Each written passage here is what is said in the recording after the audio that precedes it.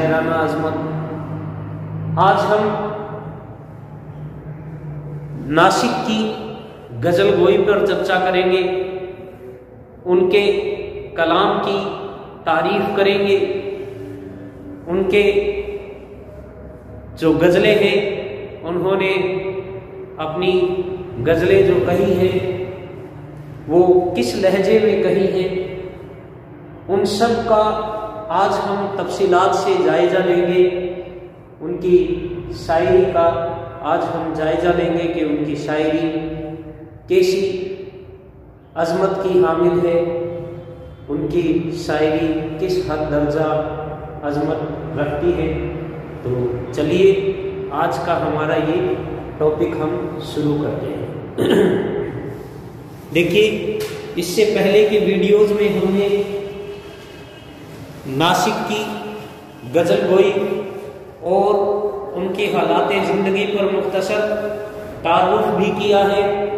उनको हमने इंट्रोड्यूस भी किया है। उनका मुख्तसर तारुफ, उनका मुख्तसर जायज़ा भी लिया है। तो चलिए मौजू को शुरू करते हैं। देखिए, उर्दू गज़ल के नामवर शायरों में बेशक नासिक का शुमार नहीं,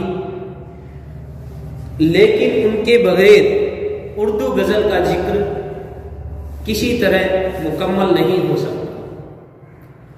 हमारी जबान के बहुत से गज़ल गो शायर हैं नासिक जिनकी बुलंद शफ में नासिक किसी तरह खड़े नहीं हो पाते, लेकिन गज़ल गोई के फन में उन्होंने जिस उस्तादी का मुजाहिरा किया, वो आज तक हमारा कोई शायर नहीं कर सका। नासिक का रंग सुखन उनके अपने ज़माने में बेहद मकबूल था कि बड़े बड़े शायरों ने उसे ललचाई हुई नज़रों से देखा और अपनाने की कोशिश की। मोमिन और गालिब दोनों ने नासिक की पैरवी करनी चाहिए। मगर नाकाम रहे। मोमिन से ज़्यादा गालिब पर नासिक का असर दिखाई देता है। एक शेर में, कलाम मीर की पसंदीदगी के सिलसिले में वो बहुत फक्र से नासिक की हम नवाई करते हैं। गालिब, अपना ये अकीदा है, बकौल नासिक। आबे, बेबहरा है, जो मोतकीदे मीर नहीं। नासिक की शायराना खसूसियत पढ़ते हैं, शुरू करते हैं। नासिक ने गज़ल और मसनवी पर खास तवज्जो दी है। उर्दू अदब की तारीख लिखने वालों का बयान है कि नासिक ने उर्दू शायरी में तीन दीवान और दो मसनवियाँ यादगार छोड़ी हैं। उनकी गज़लों का मुताला करने से अंदाज़ा होता है कि उनके यहाँ लखनऊ की पुरएश ज़िंदगी का रंग नज़र आता है। उनके कलाम में वारदाती इश्क और रोमानी जज्बात का भरपूर अक्स नज़र आता है। तो चलिए, लखनऊ के इस अजीम शायर की गज़ल गोई का जायजा लेते हैं। इनकी तारीफ़, इनके कलाम की तारीफ़ पेश करते हैं। देखिए, सबसे पहली जो इनकी खासियत है, और शायरों की तरह इनके यहाँ ही आशिकाना मजामी की हमेशा पाई जाती है।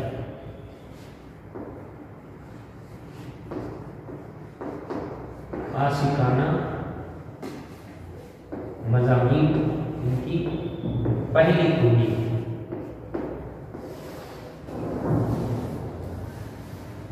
जैसे कि हम जानते हैं हर शायरों के पास, जो कदीम दौर के शायर थे, वो ज़्यादातर अपना मजमून इसको मोहब्बत को रखा करते थे।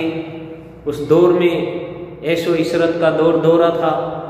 लखनऊ की फिजा के शायर थे तो इनके पास तो पूरी तरह से हमें इसकी मजमून देखने को मिलेंगे। तो जानते हैं इनका आशिकाना मजामी कैसा है? देखिए, नासिक के कलाम में आशिकाना जज्बात और जुमालियाती, जमालियाती इजहार खास तौर पर दिखाई देता है। वो आशिक व माशुक के जज्बात को पुरअसर अंदाज में पेश करते हैं।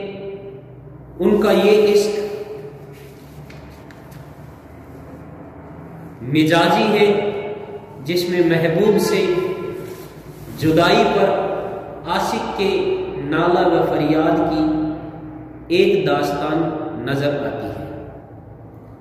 कुछ शेर मैं आपके सामने पेश करने जा रहा हूँ, जिनको हम पीछे पढ़कर भी आए हैं, जिनकी तस्री इन शेरों की तस्री आप हमारे पिछले वीडियो में देख सकते हैं, जिसका हमने टाइटल लिखा है, नासिक की गज़ल की तस्री उसमें हम इनकी तमाम जो गज़ल हमारे निशान में शामिल है, उसकी तस्री पढ़ चुके हैं। चलिए शेर पेश करता हूँ। दम निकलता है मेरा हर आशिक व माशूक पर। गुल में तेरा रंग, बुलबुल में तेरी आवाज़। है एक और शेर, कहते हैं तेरे आरिज व कामत को देखकर। कहते हैं तेरे आरिज व कामत को देखकर, बलाए सरो फूल खिला है गुलाब का एक शेर और पेशे नज़र हो। बात जो मेरे मसीहा की है, एक एजाज है। बात जो मेरे मसीहा की है, एक एजाज है। जान आ जाए तन बेजा में वो है। इन अशार को पढ़कर नासिक के कलाम की खूबियाँ सामने आती हैं। वो आशिकाना मजामी को बहुत ही पुरअसर अंदाज में बयान करते हैं। नासिक ने महबूब के कदो कामत को सरों के पेड़ से तस्वीर दी है। अगला इनके कलाम की जो खूबी है, वो है तखील या मखीलात की परवाज। दूसरी जो खूबी है, वो है मखीलात की परवाज। हम यहाँ इनकी तफील की परवाज भी कह सकते हैं, इसको एक ही बात है। यानी इनका जो जहन है, वो कहाँ तक पहुँचता है, ये कहाँ तक अपने ख्याल पेश करते हैं, इनकी ख्यालों की जो उड़ान है वो कैसी है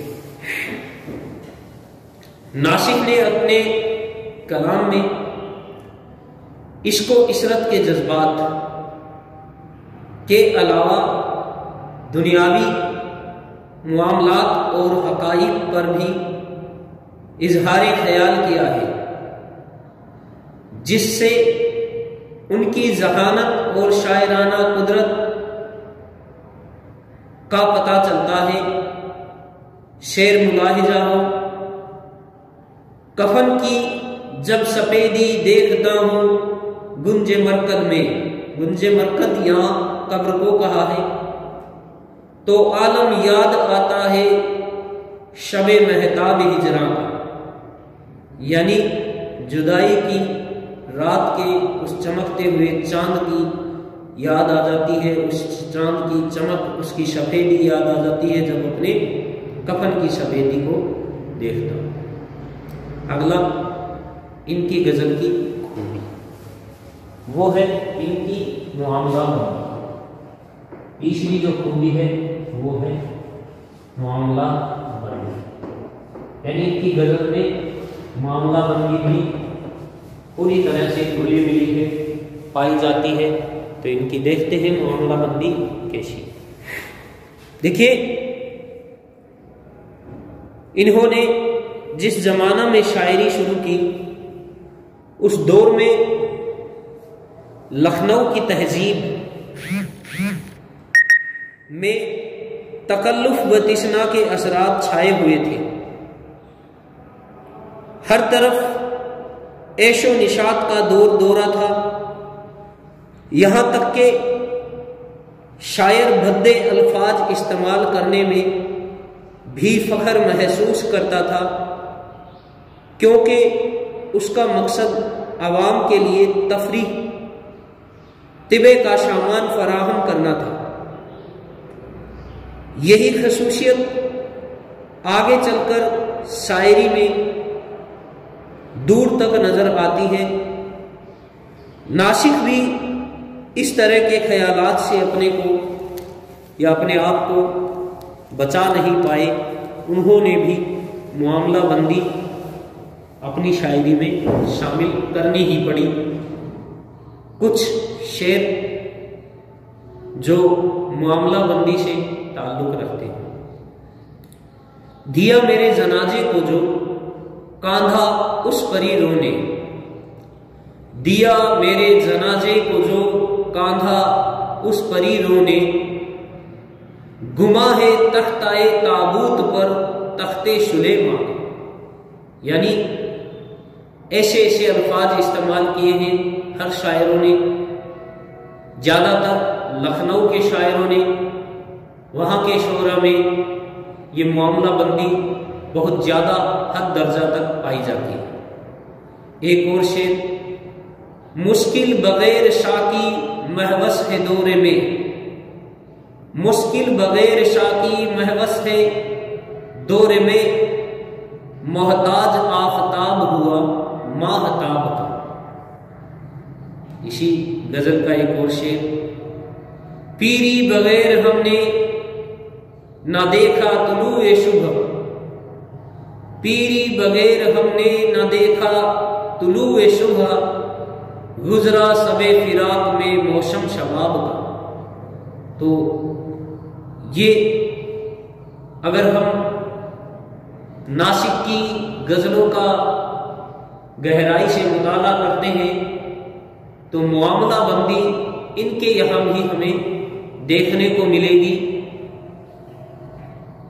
जैसे कि लखनऊ के और शायरों में पाई जाती है। ये एक रिवायत थी, एक रिवाज सा था लखनऊ दबिस्तान के शायरों में। और वहाँ पर हमें ये बेहद ज़्यादा दर्जे में पाई जाती है। चलिए आगे चलते हैं। एक और चीज़ जो लखनऊ के तमाम शौरा के पास मिलती है, लगभग वो है इनकी गज़ल में रियायत लफ्जी। तो ये भी इनका शायरी में पाए जाने वाली एक अहम खूबी है रियायत लफ्जी।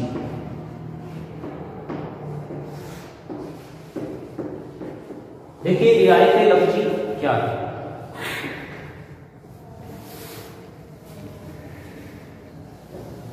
देखिए रियायत लफ्जी का एक इन्होंने शेर लिखा है, मीठी नज़रों से वो क्या देख देखे? मुझे हरी हरी की आँखों में बादम तलक देखिए लखनऊ के जो शोरा है, उनकी दूसरी खूबी रियायत लफ्जी ही है। नासिक के यहाँ भी रियायत लफ्जी के शेर मिलते हैं। यानी पीछे जिन शायरों ने जिस तरह के अल्फाज, जो रियायती, जो रियायत चली आ रही थी, जैसे अल्फाज वो इस्तेमाल करते थे, उसी तरह का रंग, उसी तरह की फिर उसी तरह का आहिंद नासिक ने भी उन्हीं की पैरवी करते हुए इस्तेमाल किया है। इसी का नाम रियायत लफ्जी अगली जो खूबी है, वो है मुबालगा आमेज तस्वीर व इश्तियारी। तो यहाँ मुबालगा हम अच्छी तरह से जानते हैं। यहाँ के हर शायरों के पास पाया जाता है। तो मुबालगा आमेज, यानी भरपूर मुबालगा पाया जाता है। तस्वीर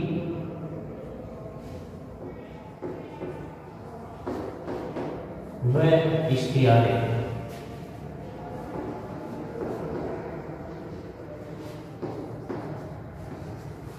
जैसे कि इस बात से हम अच्छी तरह से वाकिफ हैं कि लखनऊ के लगभग शायरों के पास मुबालगा आमेज तस्लीहत व इश्तारात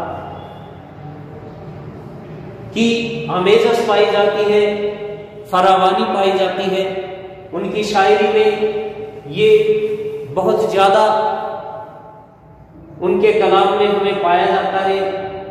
झूठ का वो सहारा लेते हैं अपनी शायरी में। लेकिन वो जो मुबालगा इस्तेमाल करते हैं, उनका वो मुबालगा शायरी में बहुत ज़्यादा हुस्न भर देता है। शायरी को हसीन बना देता है। चलिए, इनके मुबालगे पर चर्चा करते हैं। इनकी जो मुबालगा में तस्बीहात हैं और इश्तारात हैं उन पर चर्चा करते हैं। देखिए, जबान साजी और जबान दानी के जाम में लखनऊ के शोरा ने मुबालगा, आमेज तस्वीर और इश्तार कलाम को खूबसूरत बनाने के लिए और मानी के नए नए पहलू रोशन करने के लिए इस्तेमाल किए हैं। और नासिक ने भी उनके, उनका बेहद इस्तेमाल किया। लिखते हैं, मेरा शीना है मशरक मशरक आफताब दाग हिजरा का। तुलु शुभ महसर चाक है मेरे गिरेबा यहाँ इन्होंने अपने सीने को, के जख्मों को आफताबे यानी आफताब से मुराद है, सूरज सूरज की तरह चमकता हुआ बताया। नासिक का कलाम खूबियों और खामियों का मजमुआ है। ये कहना इंसाफ नहीं है कि नासिक की कुल्लियात लफाजी, तिश्ना मुबालगा आराई, यहाँ तक के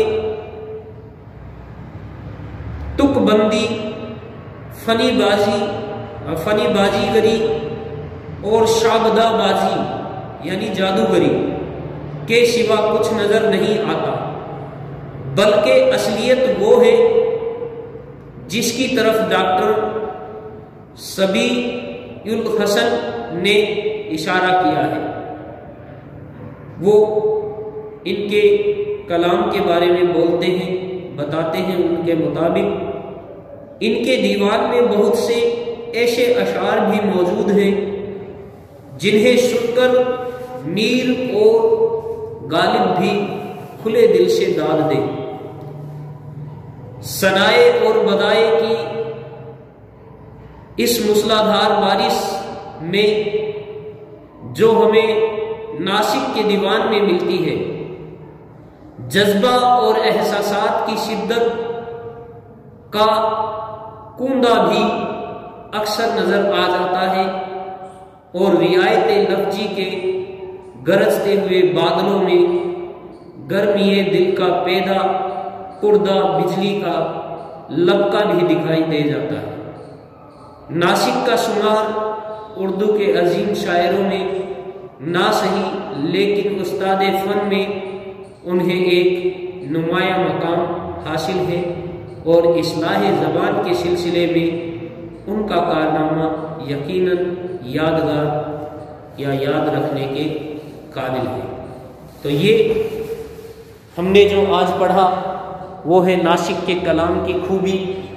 उनकी जो गज़ल बोली है, उसका हमने जायज़ा लिया। हमने जाना कि नासिक के कलाम में ये मुख्तलिफ़ खूबियाँ पाई जाती हैं, जिनमें आशिकाना मजामी मखीलात की परवाज मामला बंदी, रियायत लफ्जी और मुबालगा आमेज तस्वीहात और इश्तार की आमेजस। ये सारी खूबियाँ नासिक के कलाम में पाई जाती हैं और हम अच्छी तरह से जानते हैं कि ये खूबियाँ लखनऊ के लमसम हर शोरा के यहाँ मिलती हैं। लेकिन लखनऊ के और शायरों से हटकर इनका जो कलाम है, वो उनसे थोड़ा मुख्तलिफ़ नज़र आता है। उस्ताद फ़न में, इन्हें सर फहरिस्त में शामिल किया जाएगा, क्योंकि लखनऊ की जो रिवायती शायरी थी उससे हटकर इन्होंने कदम रखा था, उस रविश से हटकर ये चले थे। जैसा कि हमने जाना, पहले के जो शायर थे, वो किसी भी तरह के लखनऊ के खास तौर से खसूस जो शायर थे, वो किसी भी तरह की शायरी में लफ्ज़ों का इस्तेमाल किया करते थे। लेकिन नासिक वो पहले शायर हैं, जिन्होंने लखनऊ की शायरी की इसलाह की। मुकर्र लफ्ज दिए और वहाँ की जो शायरी थी, जो रिवायत थी, उस पर बहुत से उसूल लगाए और बताए कि ऐसे लफ्ज़ों का इस्तेमाल अपनी शायरी में ना करें। खुद भी उस रिवायत से बचे और दूसरे शायरों को बचने की असलाह दी। अपने शागिर्दों को भी इस काम में लगाया ताकि लखनऊ की शायरी को संवारा जा सके और एक शायरी का नया दबिस्तान पैदा किया जा सके। इनकी, इन काविशों ने, इन कोशिशों ने अपना रंग दिखाया और इस मुश्किल काम को अंजाम दिया और दुनिया में, उस दौर में, उस ज़माने में एक नया दबिस्तान उभर कर शायरी का सामने आया। उर्दू अदब में हमें इस दबिस्तान से उन्होंने आशना कराया।